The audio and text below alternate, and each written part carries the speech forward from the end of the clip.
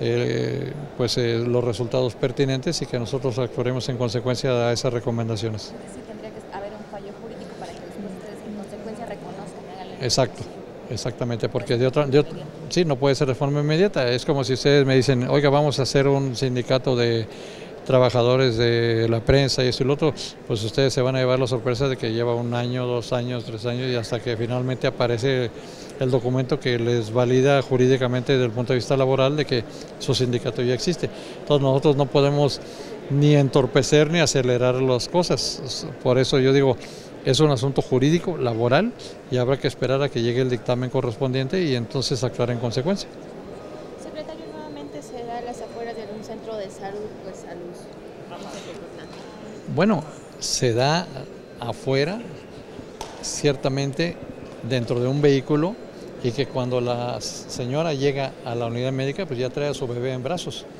Pero no quiere decir que no se le recibió. Cuando la señora llega con su bebé en brazos dentro de un vehículo, de inmediato se le atiende y de inmediato se le da el acceso a la unidad médica. Y eso, eh, yo debo decirle, sin echar las campanas al vuelo, eh, tenemos un reconocimiento de los papás de esta mujer que tiene 20 años y que es su segundo hijo, porque por lo que sucedió y por lo que ellos vivieron, pensaron que algo grave iba a pasar y sencillamente no pasó nada grave. ¿Por qué? Pues porque se hizo lo que profesionalmente se debería hacer por los médicos que están en la, unidad- en la clínica de Jojo y que afortunadamente tanto la mamá como la bebé que nació pues están muy bien. Nosotros la recibimos de forma inmediata cuando se presentó en la puerta de la unidad médica. No es que no la hayamos querido recibir.